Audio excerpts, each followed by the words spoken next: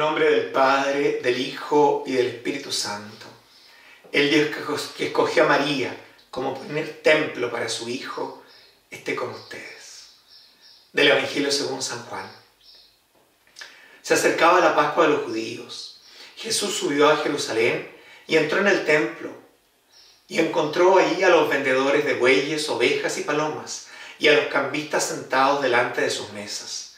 Hizo un látigo de cuerdas y los echó a todos del templo, junto con sus ovejas y sus bueyes. Derramó las monedas de los cambistas, derribó las mesas y dijo a los vendedores de palomas, saquen esto de aquí y no hagan de la casa de mi padre una casa de comercio. Y sus discípulos recordaron las palabras de la escritura, el celo por tu casa me consumirá. Entonces los judíos le preguntaron, ¿qué signo nos das para obrar así?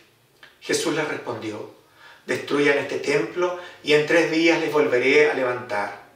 Los judíos le dijeron, han sido necesarios 46 años para construir este templo y tú lo vas a levantar en tres días. Pero él se refería al templo de su cuerpo.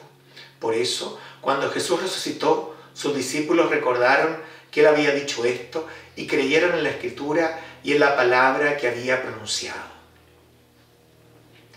El primer templo que se escogió Dios para su Hijo, la primera morada de Dios entre los hombres, fue sin duda el vientre de la siempre Virgen María, como un signo de aquel templo definitivo que iba a ser el propio Cristo, más grande que el templo de Jerusalén, por cierto, el que destruiría por breve espacio la muerte y el poder del enemigo, y ese mismo templo resucitaría y para siempre, pues ya nada ni nadie lo podría derribar.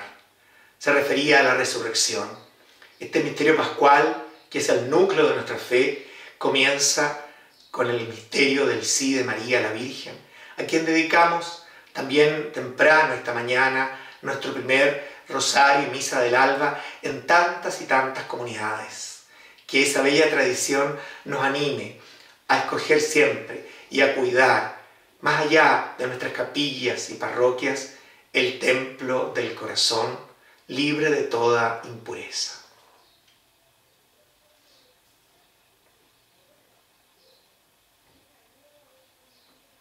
Creo, Jesús mío, que estás real y verdaderamente en el cielo y en el santísimo sacramento del altar.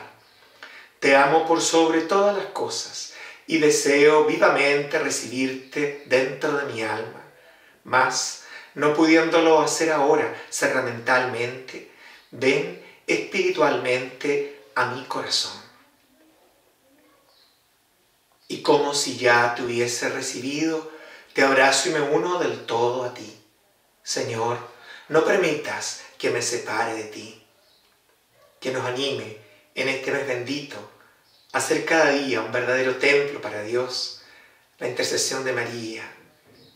Y nos bendiga Dios Todopoderoso, el que es Padre, Hijo y Espíritu Santo.